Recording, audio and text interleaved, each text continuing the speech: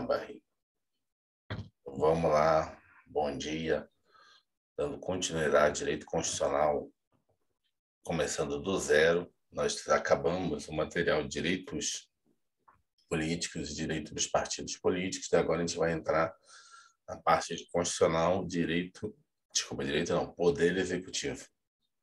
Então a gente vai estudar no poder executivo, deixa eu botar aqui o marcador de página marcador de, de aqui.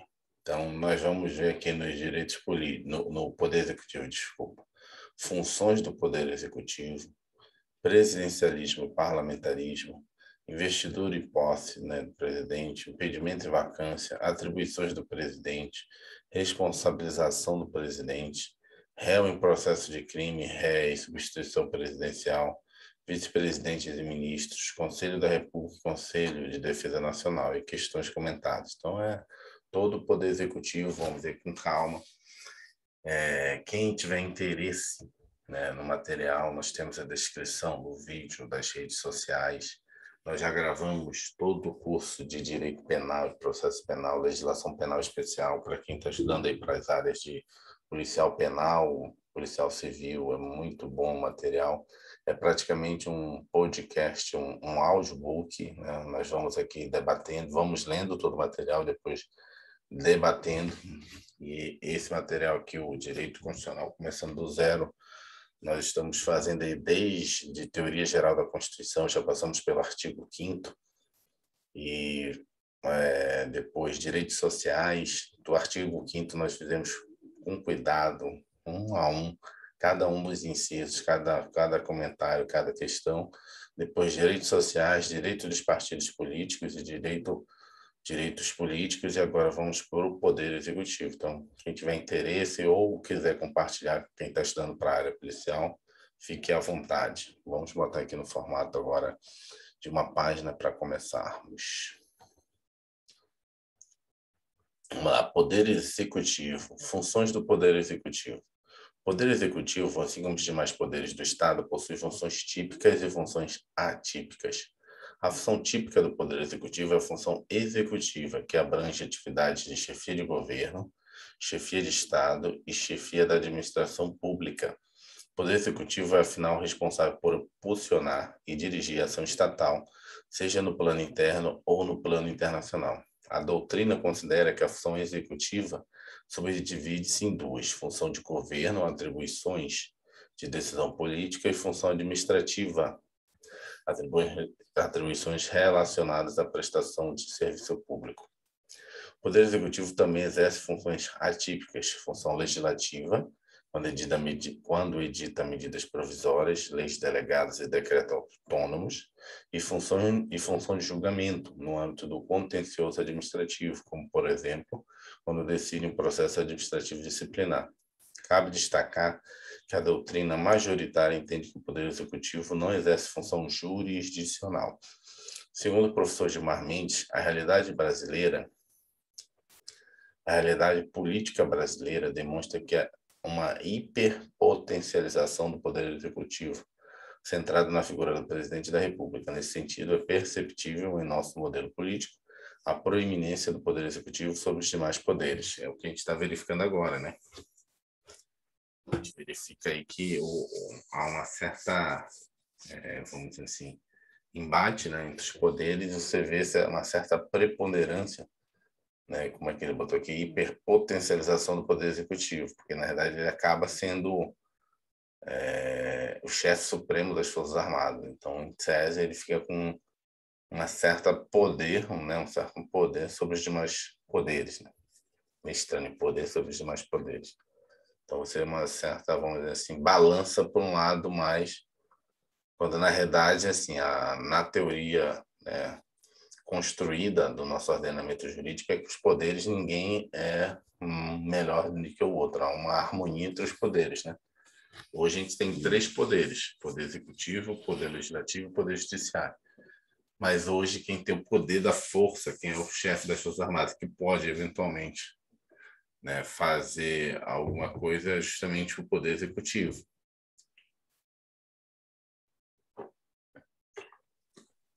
muitos países, não, não é um poder, né? Em muitos países, inclusive o nosso, nós temos praticamente assim um outro também tem muita preponderância, que é o Ministério Público, né? E não é um poder, ele não é subordinado nem vinculado a nenhum poder. Em alguns países diferentes do nosso, na verdade, o poder, desculpa, o Ministério Público é ligado a um poder, tipo, é ligado ao executivo, ou às vezes é ligado ao judiciário, né? Tem, dependendo do país. Mas no nosso Brasil, a gente fez um Ministério Público autônomo e independente. Todo, em todos os países, que em grande parte dos países existe o Ministério Público, mas no nosso caso aqui, em, em poucos outros países, o Ministério Público foi independente. Então, no Brasil, você vê também uma certa, né? Lógico, para prova de concurso só tem três, mas tem alguns órgãos e alguns, né, algumas funções do Estado que são altamente independentes. Tribunal de Contas também da União. Hoje ele é auxiliado do do poder legislativo, só que tem que ter muito cuidado, né? Porque na verdade esse ele não é subordinado, isso cai muito em prova. O Tribunal de Contas da União ele não é subordinado ao ao poder legislativo, ele é vinculado, né? Ele é ligado ao poder legislativo, que está nessa área do poder legislativo, mas não necessariamente ele é, né, um subordinado. Ele auxilia. O Tribunal de Contas está é, ligado ao legislativo. Ao hoje, legislativo. Tá. no, na parte constitucional, entendeu? Mas, assim, uma prova assim bem rasa, você se você vê a questão lá não der muito para, né, sair da situação, bota que ele é do poder legislativo, mas na realidade ele também ele não é igual ao Ministério Público, né? Mas ele também é um outro órgão na nossa Constituição Federal de 88 que tem uma certa autonomia, não é ligado a nenhum poder e na verdade ele fiscaliza os outros poderes do ponto de vista né, das contas públicas, da administração pública, né, da gestão da coisa pública, dos recursos públicos. O Ministério Público fiscaliza do ponto de vista da justiça, fiscaliza do ponto de vista né, legal, jurídico. Então, são esses dois órgãos que hoje, né, lá, quando se construiu a teoria da tripartição dos poderes, eles não existiu, né? não se pensava em Ministério Público, Tribunal de Contas. Hoje já, né, passado em mais de 200 anos do surgimento da teoria, 200, 300, 700 e pouco, é, quase 300 anos. Né? Então você já, já tem essas nuances. Vamos lá, presidencialismo e parlamentarismo. O sistema de governo adotado por um Estado é o modo como se dá a relação entre os poderes. Vamos marcar aqui, assistir isso aqui também, que é um sistema de governo. Então, presidencialismo parlamentarismo sistema de governo. É a forma como se dá a relação entre os poderes, notadamente entre o poder executivo e o poder legislativo. Não se confunde com forma de governo. Então, que pode ser república e monarquia. Isso aqui o pessoal também cobra muito em prova, o pessoal meio que fica perdido. Então, sistema é a forma como funciona sistema. Sistema circulatório, sistema digestivo, né? Sistema circulatório é todo o corpo, né? Sistema respiratório. Então, um sistema, então, é um funcionamento. Então, como é que funciona o sistema respiratório, né? Pulmão, nariz e tal. Como é que funciona um sistema de governo? Normalmente, o sistema de governo é uma relação entre o executivo e o legislativo. Agora, a forma né? A forma do sistema respiratório tem pulmão, tem isso, tem aquilo. A forma do governo é república e monarquia. E aí, como é que uma república ou monarquia vai funcionar? Tem um sistema para ela funcionar.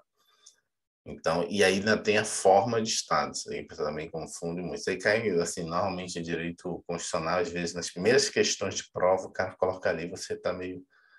E é bom sempre antes da prova dar uma revisada. Então, sistema, forma e forma de Estado. Sistema de governo, forma de governo e forma de Estado. A forma do Estado é o Estado unitário, o Estado centralizado, né? o Estado federal, que é o Estado descentralizado. Né?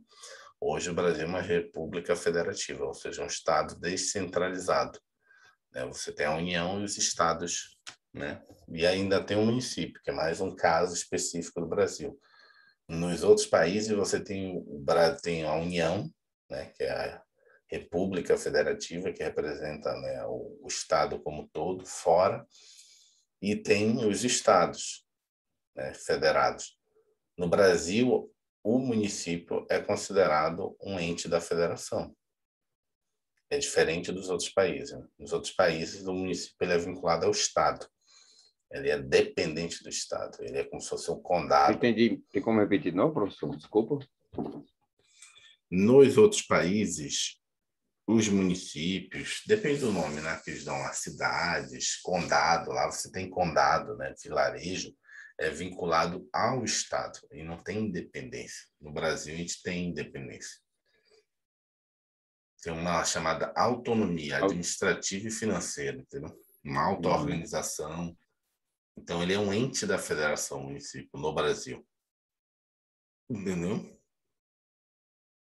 Entendi. Então, então, por exemplo, você quer ir numa prova na República Federativa do Brasil, são considerados entes, entes da federação. Os estados, não, os estados e municípios. E o Distrito Federal, né? Também é um ente. É a União, os estados, né? Sim, e os municípios. União, estados e municípios. Uma federação pura, não existiria essa figura do estado, do município, desculpa, do município, porque o município está dentro do estado, entendeu? Então, na verdade, a, a, o federalismo normal é só os estados, não tem um município. O município está dentro do estado, então quem toma conta não tem que ter autonomia, né? depende do estado. Hoje em dia, não. Hoje a União repassa direto para o município.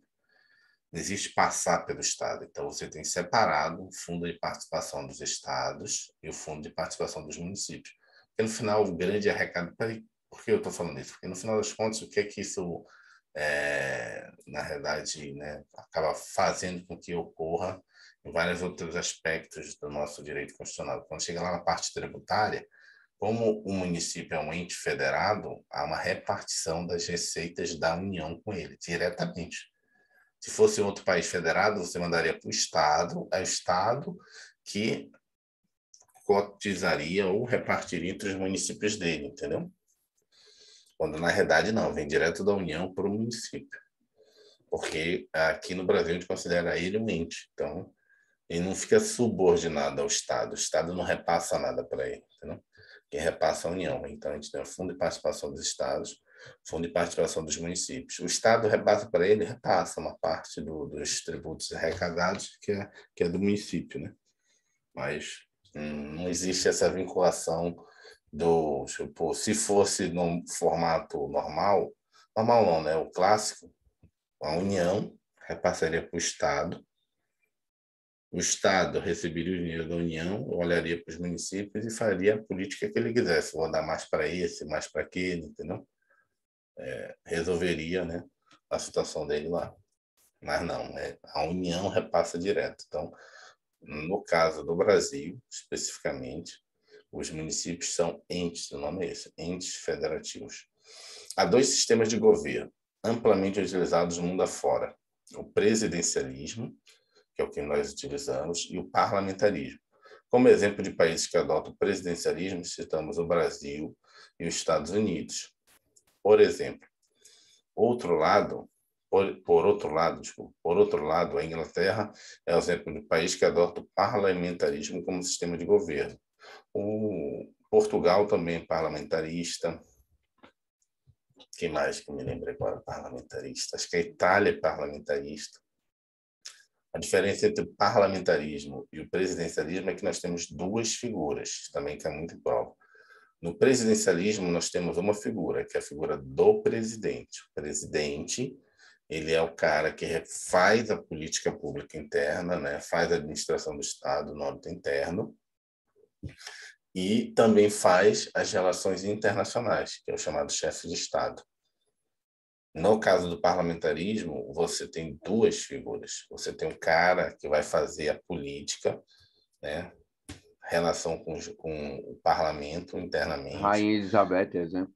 Não, não. Aí não, ela é rainha. Ela tem o primeiro-ministro para fazer isso. Ah, lá é monarquia, né? Lá é monarquia. Lá não é parlamentarismo, lá é uma monarquia. Uma monarquia Mas lá tem essa divisão também, né? É, lá é uma monarquia. Ela, ela é só. Hã? Ela é, lá é uma monarquia parlamentarista. Não, mas ela não faz essa parte de relação com, com, com o legislativo, toca política pública, não. Quem faz a política pública na Inglaterra é o primeiro-ministro. Ela faz ela as faz relações internacionais. É. Tá. Então, você tem duas figuras, né? que faz a relação com os parlamentares, que toca a política pública, que normalmente o nome é primeiro-ministro, pode dar outro nome, mas é a figura em si, tem que ter essa figura no Estado. E tem uma segunda figura que faz essas relações internacionais. Pode ser um, um rei, uma rainha, ou pode ser o que a gente chama de presidente aqui no Brasil. Por exemplo, veio aqui no Brasil o presidente de Guiné-Bissau, mas lá no sistema parlamentarista. Ele é o cara que representa Guiné-Bissau fora do, do lado do país dele. Mas lá tem um primeiro-ministro que toca a política pública, resolve a tá questão aqui, da pandemia. Eu lembrei que Israel, né, é, Benjamin Netanyahu, ele é é primeiro-ministro, ele tá aqui, é parlamentarismo em Israel também. República parlamentarista. Ou seja, ele é o cara que toca a parte interna. Né? Tem, acho vamos, vamos continuar lendo aqui. Sistema de governo, que mais? Vamos lá, presidencialismo. É, o presidencial, ah, tá, e outra coisa, parlamentar, parlamentarismo, você elege só o presidente. O primeiro-ministro é eleito pelos deputados senadores. Né? Ah, ah, então, faço duas eleições, que nem no Brasil, não. Você faz a eleição só para o presidente. Quando você elege os deputados e os senadores, lá no, no país parlamentarista, aquele partido que tem mais é, é, eleitos, ele indica o primeiro-ministro, entendeu? E aí tem uma votação para validar ele. Se esse primeiro-ministro perder a força no Congresso, não tem mais votos para aprovação dos projetos que ele manda, ele tem que cair, ele tem que ser indicado outro. A gente vamos ver se ele explica isso aqui. Porque no Brasil, como a gente não é um sistema parlamentarista, quando o presidente perde esse apoio político, a gente fica numa situação de instabilidade.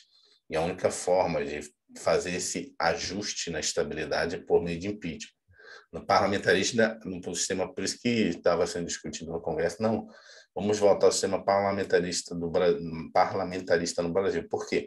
Porque o Brasil vive tendo instabilidade. Por exemplo, em tese, nós estamos agora num momento meio de instabilidade. Se fosse um sistema parlamentarista, automaticamente o primeiro-ministro cairia e aí ia ser indicado outro. Por quê? Porque ele teve uma MP reprovada. Na hora que você tem uma, uma lei reprovada, começa a perceber que você não tem mais apoio, né, teve uma medida provisória sobre a questão da reforma trabalhista que foi reprovada no Senado. No sistema parlamentarista, isso é claro indício de que ele perdeu o apoio dentro do parlamento.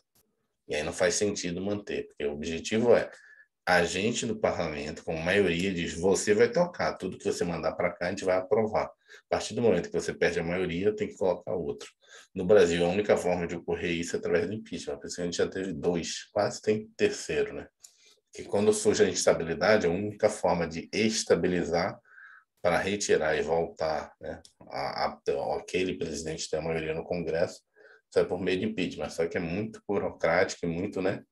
Traumático. No Brasil funcionaria não, por exemplo, agora no momento. Na minha, na minha, na minha opinião, o presidente está fazendo uma boa gestão e o Brasil quase todo político está contra ele, é, é, é, mídia, é tudo. Então, derrubariam, entendeu? Uhum. Se for para derrubar, ou o presidente, né? Porque eu estava entendendo ao contrário, eu estava entendendo que seria o primeiro-ministro, que no Sim. caso não seria o presidente, né?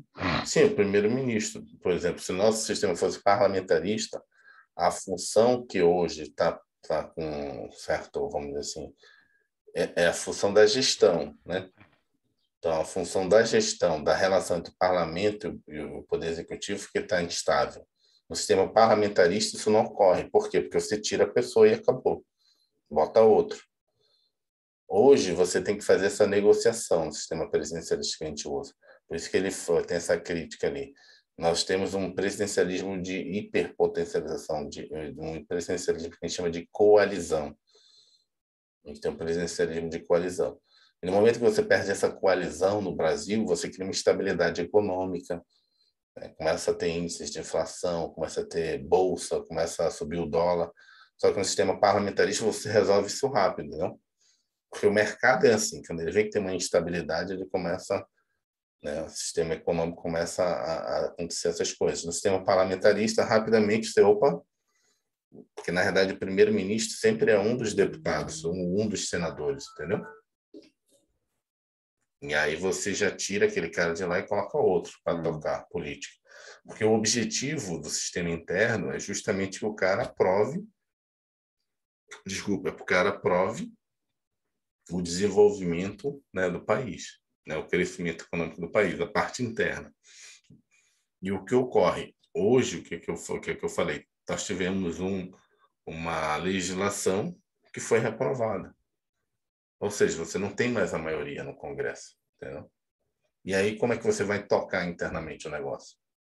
Porque o sistema ele é feito por meio de três poderes, tem que ter essa harmonia. No sistema parlamentarista, para manter essa harmonia, o cara que vai tocar o, o governo, a administração pública, é escolhida dentro do Poder Executivo, dentro do Poder Legislativo, que vai para o Poder Executivo. Ele vai ser o, o cara lá dentro. Só que tem esse link. No Brasil, a gente não. É, como eu falei, o Brasil, o cara criou o município, criou aquilo. Então, foi meio que. Né, fazendo um pouco diferente. Então, hoje a gente está nessa estabilidade. Ou seja, como é que vai fazer? Já que né, era uma medida importante essa mini reforma trabalhista. Né? Era a questão da suspensão dos contratos de trabalho, eram várias coisas que simplesmente aí, não pode mandar outra porque foi MP, essa vai criando instabilidade, aí vai mandar outra, vai novamente ser reprovado. E aí, como é que vai ficar o sistema de governo, o sistema de o sistema econômico, né? E isso no parlamentarismo, não estou dizendo que a gente tem que virar parlamentarista. No sistema nosso, tem que ter alguma. O pessoal está pensando, né? Fazer um semi-parlamentarismo, não sei como é que vai ser. Vamos lá. Tipo, o semi-parlamentarismo seria, pelo que eu entendi ele rápido, seria tipo um cara ser indicado pelo Congresso para fazer essa articulação com o Congresso, mas ele ficaria lá no Poder Executivo, né, como se fosse um, um interlocutor. Seria tipo assim, o parlamento, a Câmara do Senado indicaria tipo o chefe da Casa Civil, entendeu? Hoje já ocorre isso, mas por negociação. Hoje o chefe da Casa Civil é um senador da República, o Ciro Nogueira, entendeu? É, seria mais ou menos isso. Mas não foi porque o parlamento indicou, é, tipo, assim, a articulação dele. Vai ser uma coisa formal, entendeu? E aí quem vai negociar lá as demandas da parte interna do governo não é o presidente, é esse cara da Casa Civil. Aí seria um semi-parlamentarismo, entendeu? Que é importante ser aprovado essas legislações. Na hora que você tem esse embate político, você deixa de aprovar e quem acaba sofrendo, na realidade, é a população. Né? Aí vai culpar quem? Aí Aí um vai ficar jogando a culpa para o outro, né? O Poder Executivo joga diz, não, é culpa do Congresso. É o Congresso que não, é culpa do, do Poder Executivo, né? Então fica nessa briga aí, e aí no final das contas, quem fica, na verdade, quem sofre as consequências, na verdade, não é nenhum dos dois, é só a população. Vamos lá, o presidencialismo tem suas origens nos Estados Unidos, que o adotaram como sistema de governo na Constituição de 1787 possui como características principais as seguintes: o presidencialismo. A, a chefia do Poder Executivo é unipessoal e monocrática. O presidente da República exerce a função de chefe de Estado, que é representando representante, né, ou representando o país em suas relações internacionais, e ainda a função de chefe de governo, dirigindo as políticas públicas do Estado e chefiando, as chefiando a administração pública federal. Em suma, o presidencialismo, o presidente acumula em suas mãos todas as funções executivas, caso brasileiro. Né? Inexistência do vínculo entre poder legislativo e poder executivo. No presidencialismo, há uma independência entre o poder legislativo e o executivo. O presidente pode, inclusive, ser eleito sem que tenha o apoio da maioria parlamentar, que é o que está ocorrendo agora. Né? Está eleito sem o apoio da maioria parlamentar. É claro que nessa situação haverá fortes prejuízos à governabilidade. Ademais, não pode o presidente interferir no mandato de deputados e senadores eleitos democraticamente. Mandato por tempo determinado. O presidente da República, quando eleito, já tem um tempo prefixado. durante o qual irá exercer o seu mandato. No Brasil, por exemplo, o mandato do presidente é de quatro anos, podendo haver uma reeleição. Não existe a possibilidade de o Poder Legislativo, a seu bel prazer, abreviar o mandato presidencial, destituindo o presidente do cargo. No Brasil, a única possibilidade da perda do cargo de presidente por atuação do Poder Legislativo é a condenação por crime de responsabilidade, que é o processo de impeachment, né? É o que eu falei. No parlamentarismo, isso aqui é muito mais rápido, né? O metrô tem estabilidade econômica, política, afasta, coloca outro. No, no sistema presidencialismo, é, esse que é o problema, no sistema presidencialista, né? na hora que dá esse embate entre poder legislativo e poder executivo, você vai até o final do mandato nesse embate. O problema é que você não aprova as leis econômicas, as leis de saúde pública, né, as leis de educação, várias leis que eram, eram para ser feitas durante o mandato, a gente chama de reformas aqui no Brasil, né? nos Estados Unidos chama de ACT. Os ACT aí acaba prejudicando a população. Vamos lá, né? É, são os atos. Atos lá de, de chão. É porque lá, lá é law, law, lei é law. Só que aí quando é uma lei estilo tipo reforma, de grande mudança, chama o ACT. São atos do que, entendeu? Para nós seria tipo a reforma trabalhista, reforma da previdência, entendeu? É só um termo que, ah, que na verdade assim, a reforma da previdência nada mais é do que uma lei, né? Uma emenda.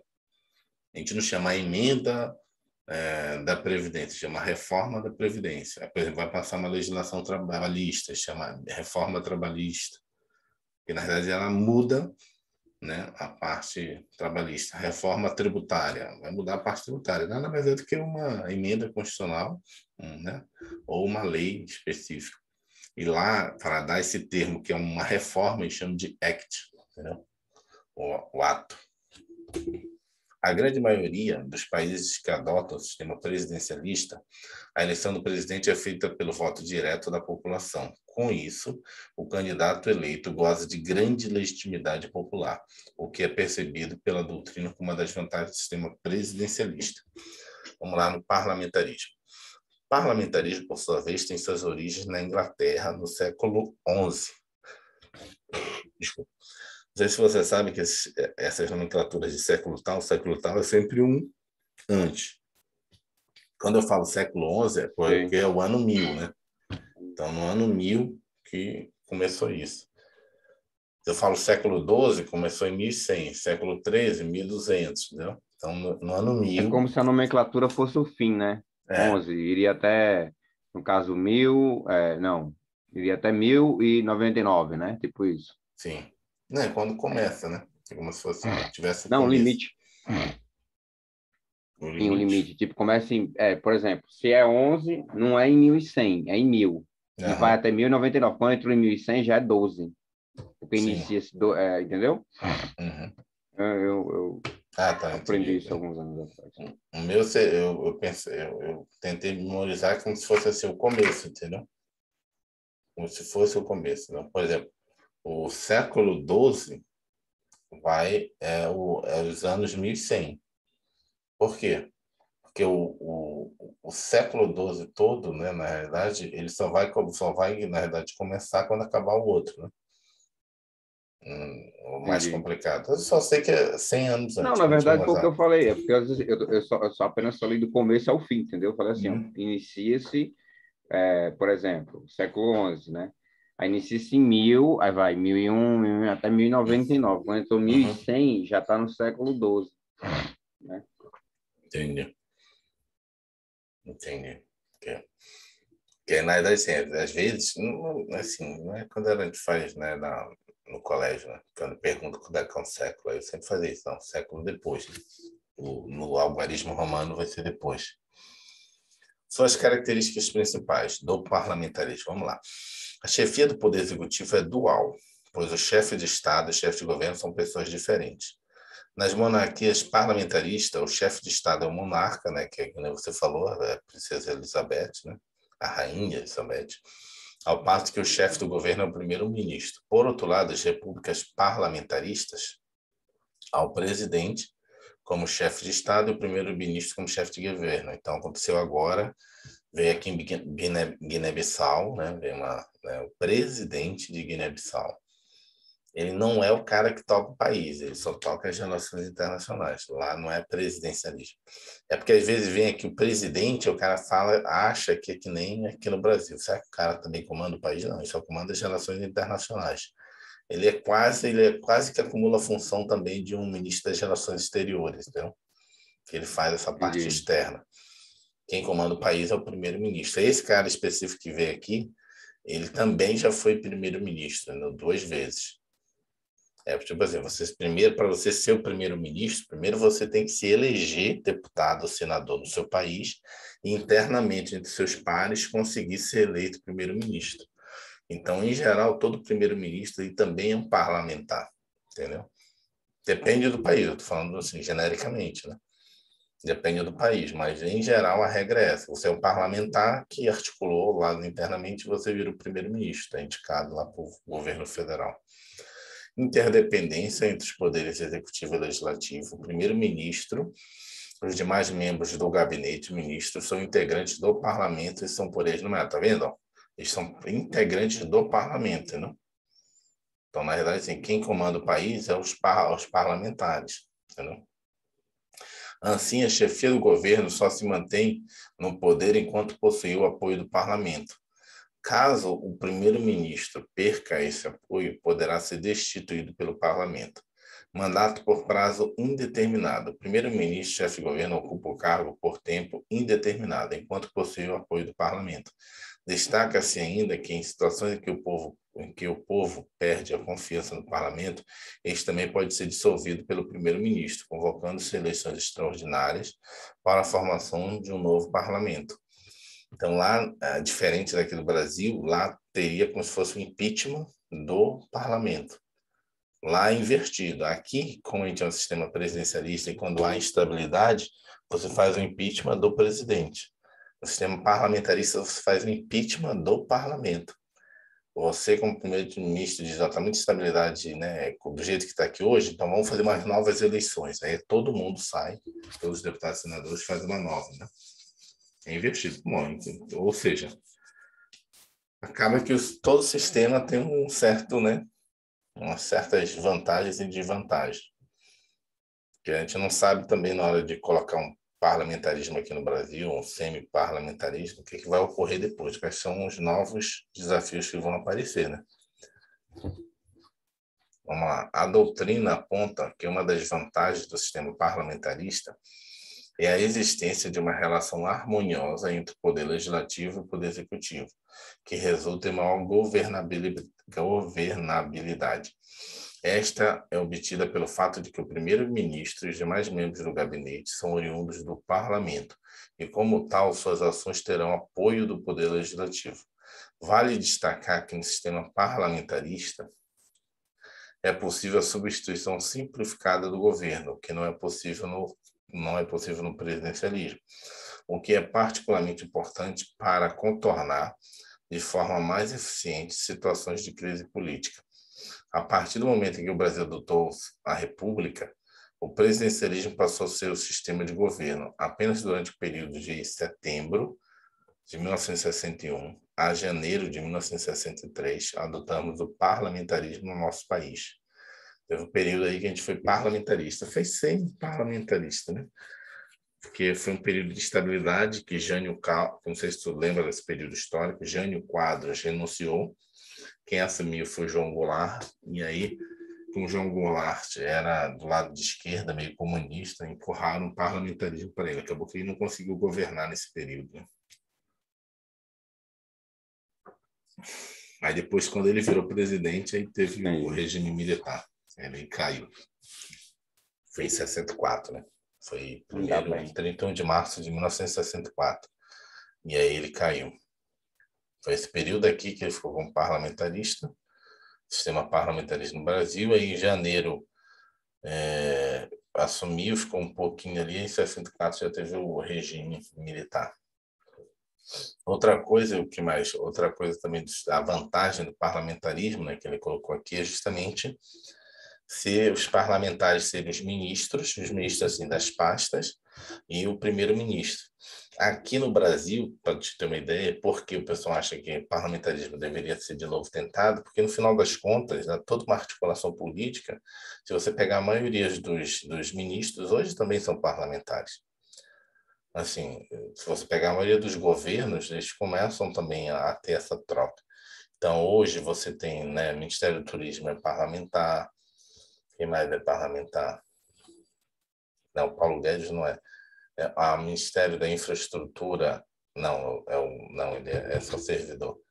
Tem que me lembrar agora, o cara que foi para Secretaria de Desenvolvimento Regional, ele é parlamentar. Então acaba, assim, não é todos, mas, por exemplo, hoje tem menos. Você pega outros governos, você pega outros governos que nós temos no Brasil presidencialista, os ministros de estados são deputados e senadores. Não sei se você percebe isso. Ou seja, a gente, apesar de não querer um presidencialismo, mas acaba que no dia a dia, que acaba meio que fazendo um, um parlamentarismo. Porque para você ter essa harmonia dos poderes, você, você tipo, coloca um parlamentar na chefia de uma pasta, né, de um ministério, um deputado, senador, que é característica de quê? Do sistema parlamentarista, né? Por exemplo, hoje a gente tem na Casa Civil, é um, é um senador. Nós temos na Secretaria de Governo uma deputada, que é a deputada Flávia Ruda, entendeu? Então, essa é uma característica de quê? De sistema parlamentarista, não de sistema presidencialista. Vamos lá, então, começando aqui. Um resumo, na verdade. República Federativa do Brasil. Mas lembrando, a gente é um sistema presidencialista. Né? Não estou falando aqui de, né, na forma na, na, na, prática acaba fazendo, pegando algumas coisas do parlamentarismo, mas o Brasil é uma república, né? uma república federativa presidencialista.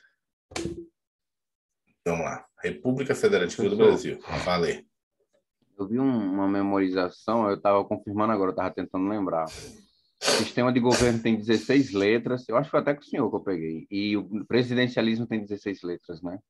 Uhum. Então é para uma forma de saber. Ah, 3, tá. 5, 7, 8, 9, 10, 11. Aqui é o resumo do que a gente viu. Aqui, ó, vamos lá. República Federativa do Brasil. Qual é a forma de Estado que a gente usa? Federação. Né? Com aquela característica de ficar atento na prova que o município também é ente da federação. Só esse detalhe aqui no Brasil. Hum. Regime político, uma democracia. A gente estudou no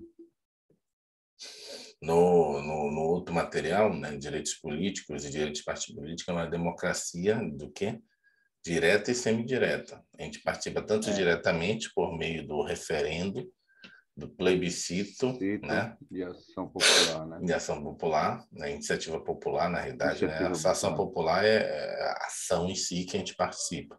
Uhum. Na verdade, a ação popular é também a participação direta, mas aí você já questionando o Estado de que alguma coisa está errada. Você entra com a ação popular.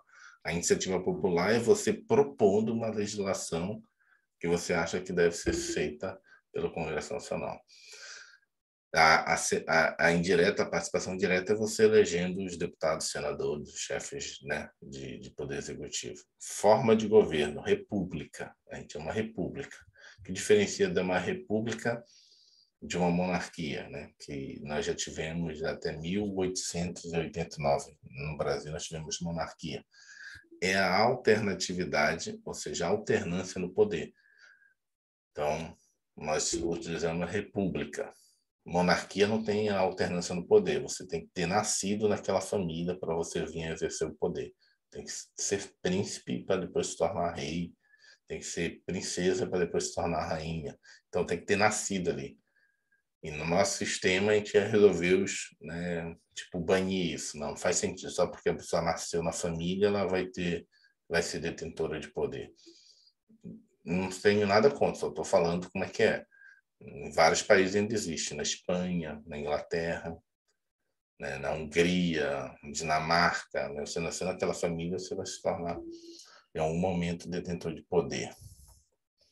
Sistema de governo é o presidencialismo, é isso que a gente acabou de estudar agora.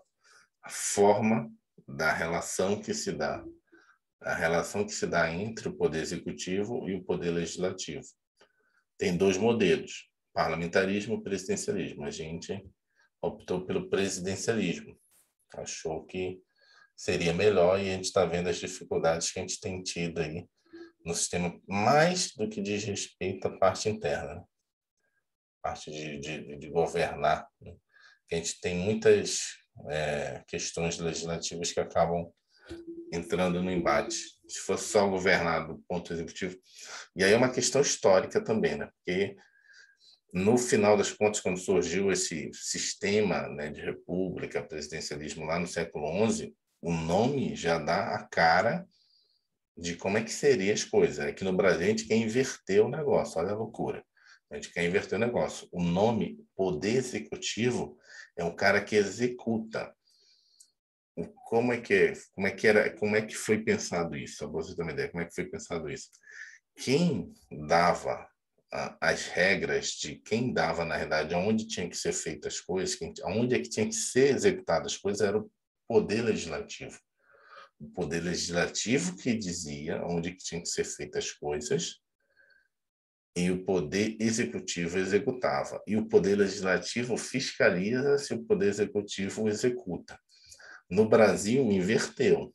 A gente acha, a gente, população, que o poder executivo tem que dizer aonde é que tem que ser feitas as coisas.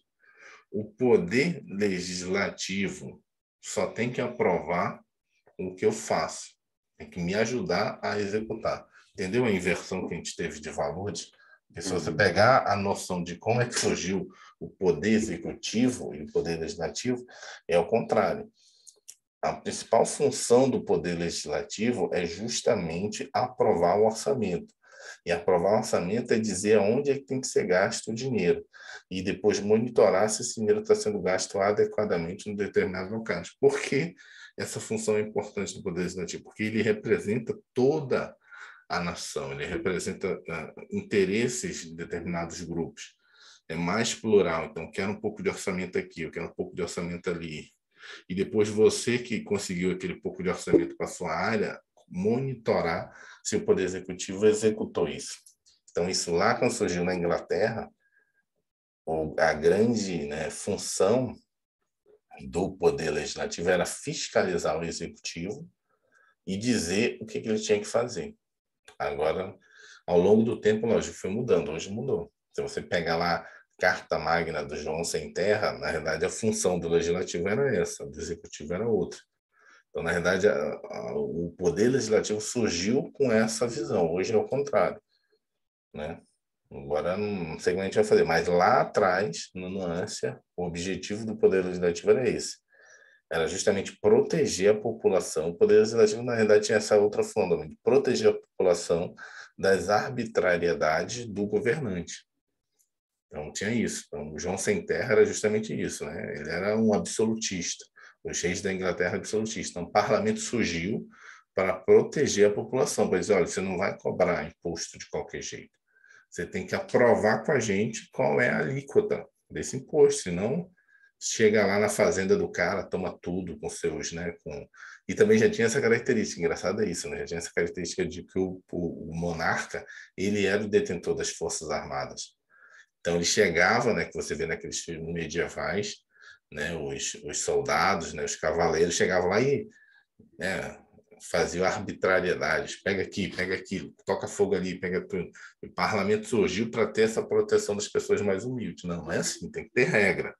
Você até pode fazer isso, mas é um percentual daquilo do que o, né, aquele, né, aquele, como é que se chama, pequeno fazendeiro, pequeno cara que mora ali naquele reinado, tem que pegar. Você não pode fazer isso com a mulher dele, você não pode estrupar, você não pode fazer aquilo. Ou seja, o parlamento era para proteger a gente contra o governante arbitrário. Então, essa era a função. O executivo passou a ser a pessoa de executar. Aqui no Brasil mudou. Vamos ver investidor e posse. Em nosso ordenamento jurídico, o presidente da República encarna a chefia de Estado e a chefia de governo, exercendo, portanto, todas as funções executivas. Nesse sentido, diz a Constituição que o poder executivo é exercido pelo presidente da República, auxiliado pelos ministros de Estado. Para que o indivíduo possa ocupar o cargo de presidente, ele deverá cumprir os seguintes requisitos constitucionais: Esse aqui a gente já tinha visto, né? Brasileiro nato, para ser presidente, vice-presidente. Alistamento eleitoral, ou seja, tem que estar inscrito no, no, no TSE, no TRE, né? tem que ter título de eleitor, está em pleno gozo dos direitos políticos, ou seja, não está condenado. Ter mais agora, de 35 né? anos, sim.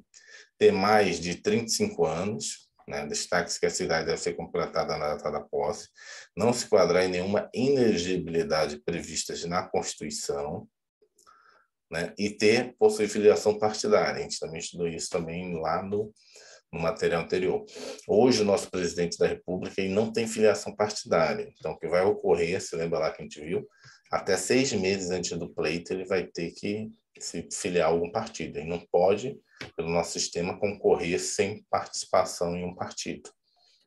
Então, ele tem até aí, mais ou menos, quanto é que vai dar? Acho que é abril, né, do ano que vem. As eleições são em outubro, então você tira ali setembro, agosto, né? Setembro, agosto, julho, junho, maio, abril. Então, mais ou menos ali no meio de abril, porque a eleição normalmente é 15 né, de outubro, então mais ou menos no começo de abril ele vai ter que ter uma filiação partidária, porque senão ele não pode concorrer. Que é uma regra constitucional, entendeu? Tem que ter uma filiação. Hoje ele é sem partido. A eleição de presidente e do vice-presidente da República é feita pelo sistema majoritário de dois turnos, por esse sistema, considera-se eleito o candidato que obtiver a maioria dos votos válidos, não computados, portanto, os votos em brancos e nulos. Caso não obtenha essa maioria na primeira votação, será realizado o voto, novo voto segundo turno, ou seja, se ele teve 55, 51%, 50% mais um voto, já ganha no primeiro turno dos votos válidos. Desculpa, outra coisa que aí parece estranho, porque para a gente é normal, o que você elege é o presidente e a chapa. Teve muito questionamento isso, sei lá, quantos anos atrás? Sei lá, três, quatro anos atrás. Ah, não, isso aí foi golpe, não sei o quê, porque, na verdade... Não, na hora que você elegeu a pessoa, você elegeu o vice. Agora, não vem dizer que você não quer o vice, que o vice não é do seu chapa, que o vice não sei o quê, que deu golpe. Porque lá atrás, realmente, lá atrás existia isso. Você elegia o presidente votava para o presidente e votava para o vice-presidente, era separada a votação. Aqui não faz muito sentido, né? Porque hoje a gente tipo vota no presidente e vai junto o vice. Então entende-se que na hora que você votou na ex-presidente Dilma, você também tá, o voto que você estava dando para ela, você deu também para o vice. Que teve um questionamento lá atrás, né? De, tipo, quando teve impeachment, assim, ah, não, mas peraí, Voltei na Dilma, não, não tem não, nada a ver. Você voltou, você sabe quando o presidente ele, esse candidato, você tem que ver o vice dele, porque quando você dá o voto para ele, você está dando voto também para o vice. Lá atrás, de novo, no nosso, nossa república, desde quando dente né, acabou a monarquia no Brasil, já houve períodos que você votava separado. Não, quero esse presidente, mas quem vai ser o substituto dele, caso né, tenha algum problema, eu quero aquele outro cara, entendeu? Ah, você concorria separado, que era concorrer a ser uhum. vice-presidente. Lá atrás teve isso. Agora no Brasil não. Agora nesse período do Brasil não é assim. Você vota já nos dois, na chapa. Existem dois tipos de sistema majoritário. Sistema majoritário puro ou simples. É eleito o candidato com o maior número de votos, maioria simples. Esse sistema é utilizado para a eleição dos senadores e de prefeitos em municípios até 200 mil eleitores Sistema majoritário de dois turnos. É eleito o candidato que obtém a maioria absoluta dos votos válidos. A maioria absoluta é obtida quando o candidato tem mais da metade dos votos válidos. Esse sistema é utilizado nas eleições de presidente, governador né, e prefeitos de municípios com mais de 200 mil eleitores. O que, que ele quer dizer com isso aqui? Sistema majoritário puro de dois turnos. É o seguinte: é que, por exemplo, para senador, e para prefeito com municípios com até 200 mil eleitores, só vai ter um turno sempre. Não existe assim, não, você é senador, mas você não teve a maioria dos votos. Não, eu teve a maior quantidade de votos, acabou. Já estou eleito. Prefeito até 200 mil habitantes, uma cidadezinha que tem 50 mil habitantes. Você obteve a maioria dos votos, ainda que não seja a maioria da população, você já ganhou. Não interessa se foi dividido. No caso de presidente, governador, prefeito com, é, com, com cidades acima de 200 mil eleitores, não é população, tem que estar atento isso, aqui é na prova, eleitores. Não é cidadãos, não é população, pessoas, é eleitores. O que ocorre nessas situações? Nas situações é a seguinte: teve o primeiro turno, aí teve um que teve 10% dos votos, outro teve 20%, aí já ficou 30%. Aí um teve 34, o outro teve 36. Ou seja, ninguém teve 51% dos votos. E aí você tem que ter o segundo turno com os dois que tiveram maior votação. Entendeu? No caso de? De governo presidente. Tá, entendi, entendi. Entendeu? Governador entendi. e prefeito e acima de 200 mil. E o contrário é em cima, né? O contrário é em cima. Por exemplo, num município que tem até tem 36, 200 mil. 35. Já era. Ah, já era. O cara ganhou 35, já. Não, mas ele, ele só ganhou 35% dos votos da população da cidade. A população está extremamente dividida aí, né? Não está nem dividida aí, aí está pulverizada, né? Pulverizada. A decisão dela, mas não, não vai ter segundo turno. É a mesma coisa de senador. Senador, aquele que teve uma quantidade de votos, não interessa. Assim. Ele ganhou por um voto em relação aos outros pulverizados. Ele, ele foi eleito. Quando eu... ocorrerão. Fala. Não, não. Aí o embaixo, embaixo é o contrário. Sim. Vamos lá. Quando ocorrerão as eleições presidenciais? Segundo o artigo 77, caput, a eleição do presidente e do vice-presidente será realizada simultaneamente no primeiro domingo de outubro e no último domingo de outubro, o segundo turno. Em segundo turno. O ano anterior, do ano anterior ao término do mandato, ou seja, o término do mandato é 2023, então ano que vem a gente vai ter eleição para presidente. Destaca-se que a eleição do presidente importará do vice-presidente com ele registrado. Em outras palavras, ao eleger o presidente, a população estará automaticamente elegendo o vice. Teve esse questionamento lá na época do impeachment da Dilma. Ah, não, tem que ter eleição. Não, você elegeu, o cara é vice, ele está aí para isso, né? Será considerado eleito presidente o candidato que é registrado por partido político obtiver a maioria dos votos, absoluta dos votos, não computados os brancos e os nulos. Assim, para se eleger no primeiro turno, o candidato deverá ter mais votos do que o somatório dos votos de todos os seus adversários. Precisará, portanto, ter mais da metade dos votos válidos.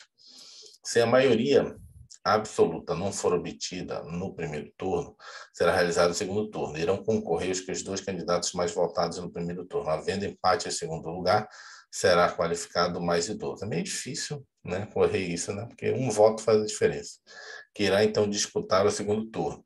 Destaca-se que será considerado eleito no segundo turno aquele que obtiver a maioria dos votos válidos. Bota aqui, ó. nem sempre foi assim na história brasileira. A Constituição de 1946 dispunha que o presidente e o vice-presidente seriam eleitos separadamente. Que nem eu falei para você, né? Lá atrás já teve essa situação. Como resultado disso, tivemos, por vezes, eleições de candidatos com posições políticas antagônicas, como, por exemplo, Jânio Quadros, eleito presidente em 1960, e João Goulart, vice-presidente. Quando Jânio Quadros renunciou, houve forte rejeição a João Goulart. Foi o caso que virou parlamentarismo que eu falei no Brasil. A solução para o impasse político foi instaurar o sistema parlamentarista. Foi por isso que ocorreu o sistema parlamentarista, entendeu? O vice era, era eleito separadamente. Hoje é eleito junto, mas isso não quer dizer também que seja tranquilo, né? Hoje a gente vê isso, né? Hoje, não estou dizendo, não estou falando nada, né? O que eu vejo lá na presidência hoje no dia a dia, né? Então, assim, tem coisa lá, tipo, cara, parece até que são inimigos, né? Meio estranho. O vice. Se antes, fala, tem que acabar, né? Deixa eu ver se tem muita coisa. Tem. Tem. Tem que. O... Eu tenho que sair correndo para a parada agora. Então a gente continua daqui, faz a releitura aqui de novo. E aí vai marcar continua. aí? Deixa eu marcar aqui, ó. Foi aqui que a gente parou. Aqui, ó. Marcar aqui, 5 do 9.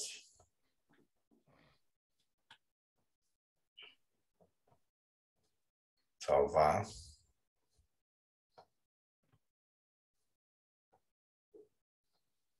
A gente continua a leitura.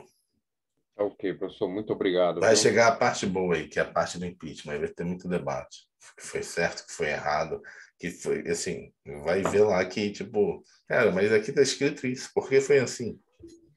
E lá gente debate. Porque a forma que foi aprovado o último não está previsto na Constituição. Estou falando assim, o resultado, né? A pessoa tem que perder os direitos políticos. Não houve a perda, no caso lá. Ah, entendi. Valeu. Valeu, um abraço. Um abraço tchau. tchau. Obrigado.